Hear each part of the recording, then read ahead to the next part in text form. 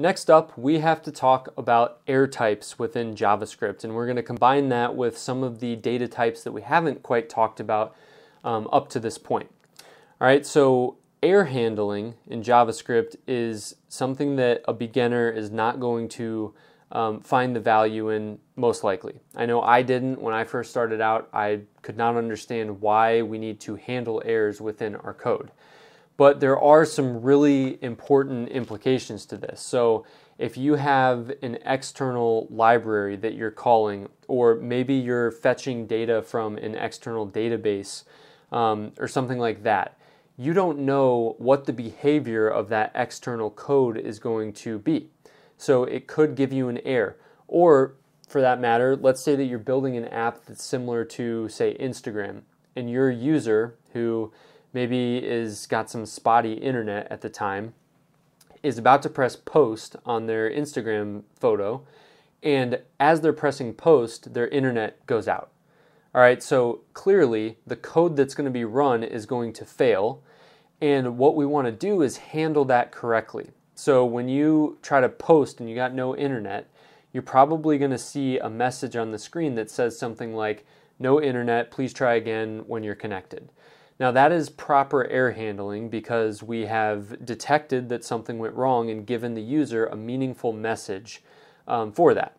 Now, if we didn't handle errors and we just, you know, ran our code and just, you know, threw caution to the wind and said, hope it works, well, in that case, when that user posts the photo and the internet goes out, the whole Instagram app is going to crash. So, we obviously don't want that to happen. That's a terrible user experience. And that is the value of error handling.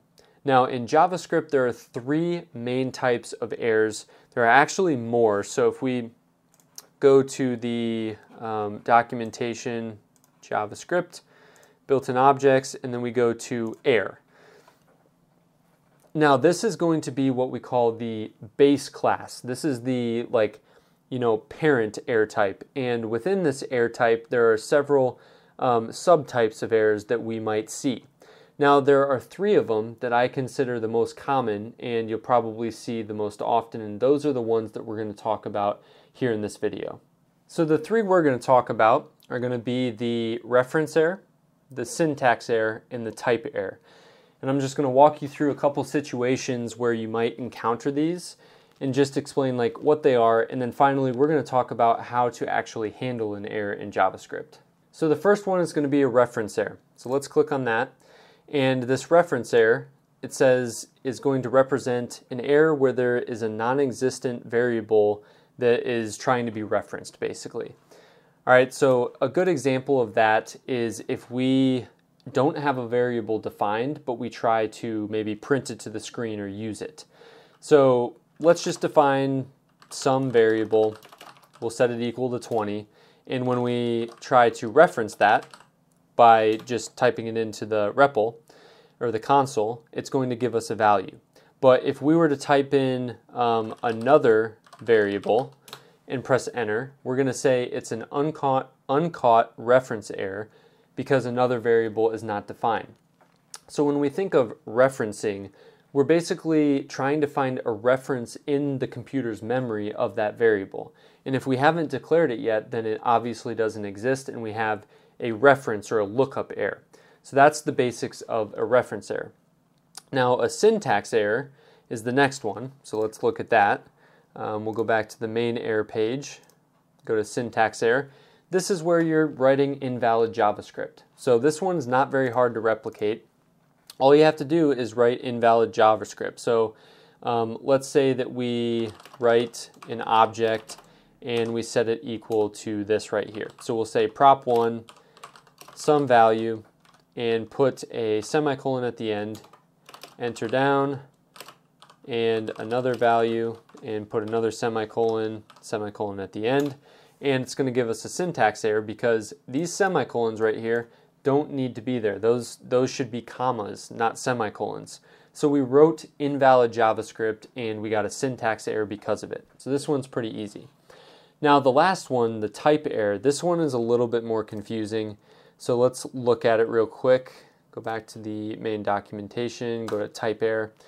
Now it's going to say a type error represents an error when the operation could not be performed because you're doing it on you know a variable or a data type that doesn't have that operation. So something that you might think is going to throw this kind of error is I don't know adding two objects together. So let's say that we have object one and we're going to set that equal to uh, I don't know say 20 here and then we'll come down and do another object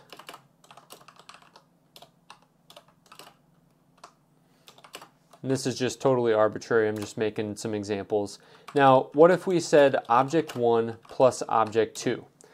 You would think that instead of returning this string with like meaningless object uh, notation, we would actually get a uh, type error because we're trying to do something um, that can't be done. We can't add two objects together like this. They're not uh, integers or or numbers. When you're going to get a type error is when you're trying to um, pretty much call a method on the wrong data type. So let's say that you have a number, all right? So we'll set that equal to 20.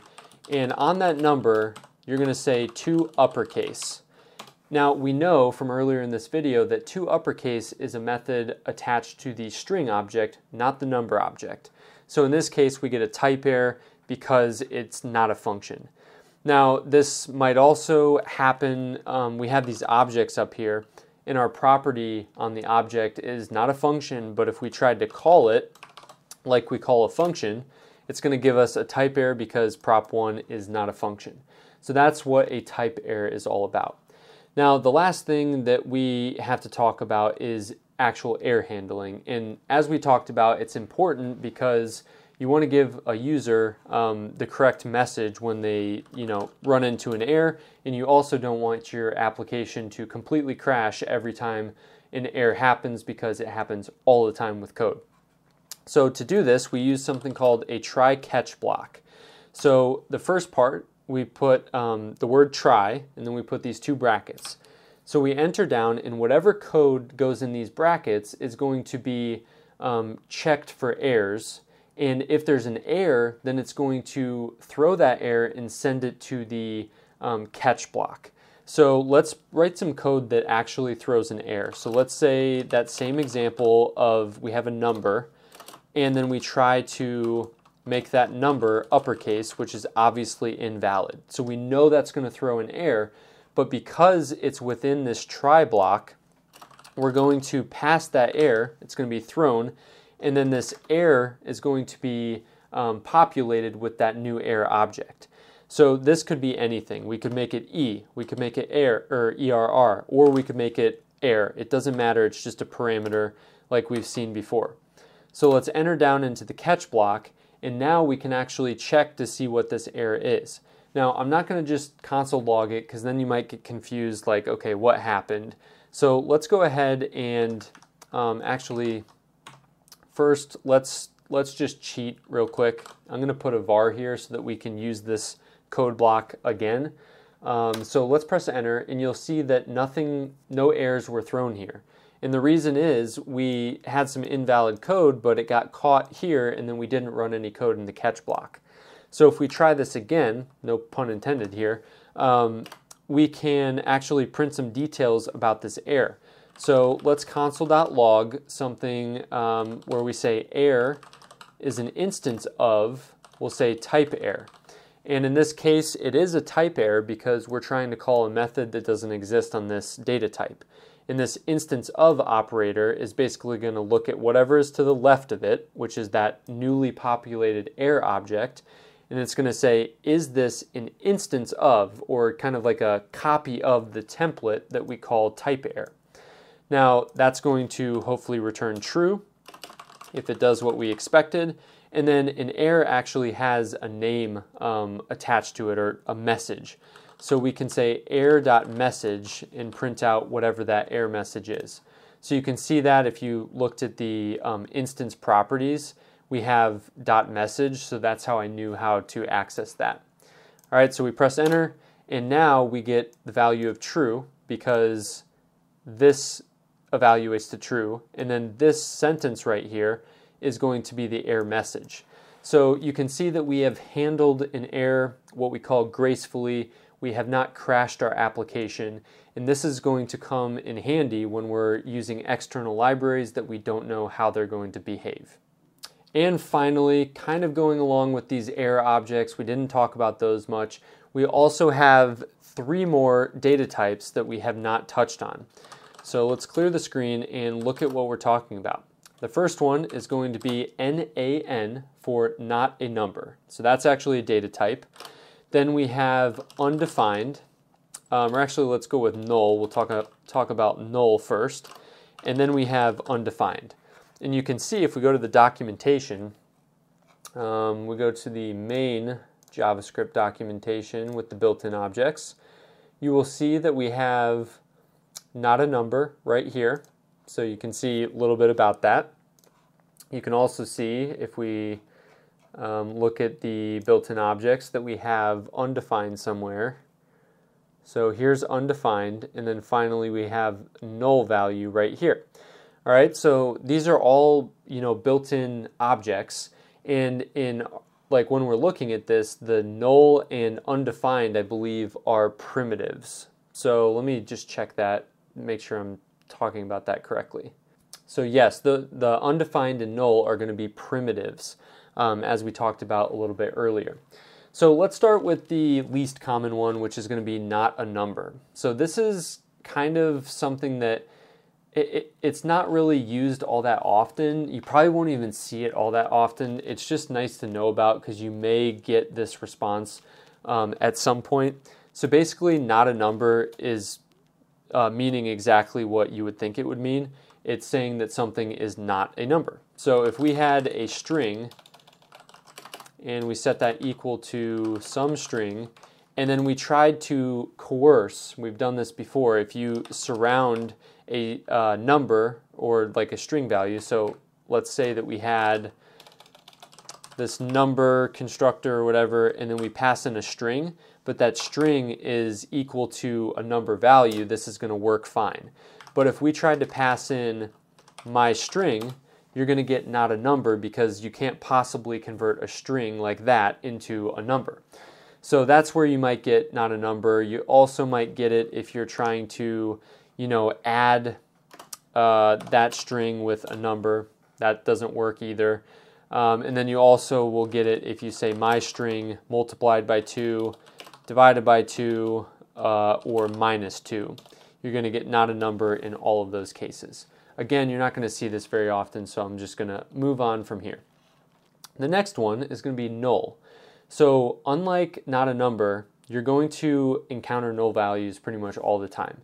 And what this represents, um, how I think of it, is going to be the intentional absence of a value or a placeholder that you put in to a variable. So if you were to define a variable, so we'll say let uh, plate or no, not placeholder. We'll just say let my number, and then we'll set it equal to null.